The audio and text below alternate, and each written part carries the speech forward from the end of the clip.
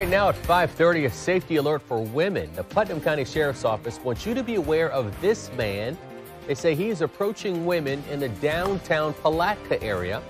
The Putnam County Sheriff's Office is asking people to call them if they see the man in the downtown Palatka area. Yeah, they say he has a thick accent and he's approaching women, asking if they're single, and then asking for help with his car or for the closest Indian restaurant. News4JAX reporter Elizabeth Campbell has been speaking with people in Palatka today and joins us live from downtown. Elizabeth.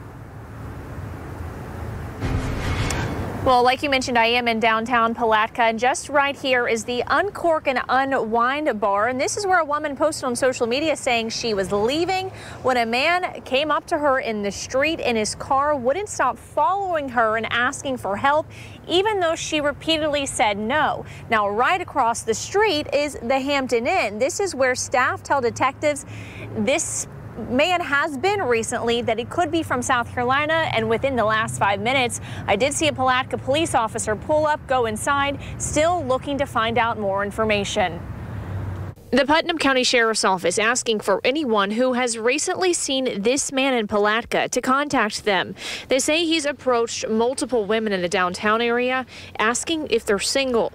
The Sheriff's Office believes he's driving a dark blue VW sedan. Tracy McCreary lives and works in Palatka and is on high alert while downtown. She says her husband also drives a dark sedan and was stopped by police. Yeah, he drives a black uh, Altima and yeah, they stopped him. So I'm sure they're going to stop every black vehicle in town. There's another black Altima. I hope it's not him. The sheriff's office believes the majority of these interactions have happened in broad daylight, including to a woman who was walking along the riverfront during her lunch break. One Palatka woman posted on Facebook yesterday warning of a man who appeared to be Middle Eastern driving a black sedan in the downtown area who followed her and repeatedly asked her to help him. She said something felt wrong about the whole thing.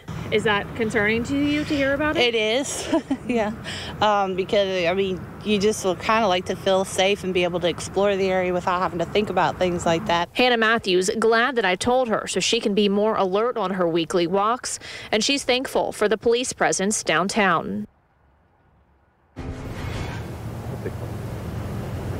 And I want to be clear, you did hear from the woman in this story something about a black sedan, but police are in fact looking for a dark blue sedan. Originally, there was some confusion over whether it was black or dark blue, but it is dark blue. And take another good look at the man in this picture. If you have seen him or have come in contact with him, you are asked to contact the sheriff's office or police. Do not post on social media. They say to please contact them. They say right now no crime has been committed, but they definitely have reason to believe that his is suspicious and they want to continue looking into it. Reporting live from Palatka, Elizabeth Campbell, Channel 4, the local station.